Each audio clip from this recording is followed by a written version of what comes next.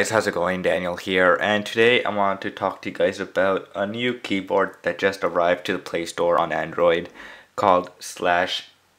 Yeah, called Slash. Um, so Slash has been out on iOS uh, since last year, I'm pretty sure. Um, because uh, I remember downloading it when I was on the iPhone, and then switched back to Android, and I really enjoyed using Slash on iOS um, and now it has finally arrived to Android. So you're probably wondering what's different about uh, um, Slash on iOS and on Android. So first off, the big difference is that you can create your own Slash. So a slash is some a shortcut that you create just using the keyboard.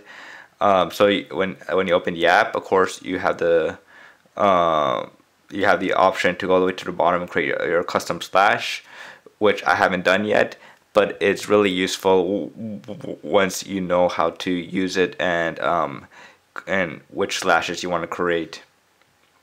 So there, there are already some custom ones that come already with it. So there's like the Amazon one where you can search for books on Amazon. You could search for music on Apple Music. Um, you could search on Product Hunt. Um, you could search for a song on Spotify. So all these are pretty awesome stuff. These these uh, uh, short slash shortcuts. Um, but also there's a difference in, I, in the iOS and Android, of course, uh, keyboard settings. So when you go on here on the on the settings, you go theme, you can change it to material light, dark, Holo white, or Holo blue. I left it to material dark. That's the like that's the one I like. Um, and then of course, uh, you, there's more stuff in this in in this settings.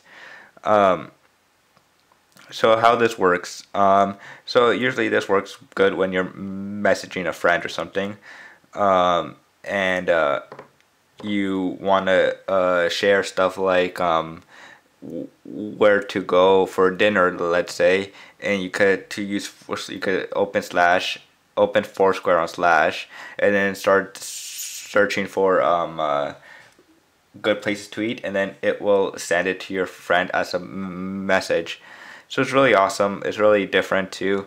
Uh, and it's one of my favorite keyboards when I was on iOS. Um, and uh, the developer did say that there's going to be some big update in 10 days. So I might do another video in 10 days uh, to see if it's really a good update or not.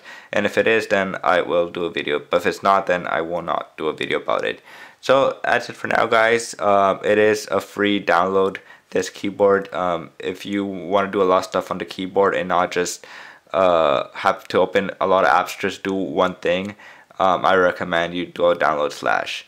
And like I said, I'll see you guys later. Peace.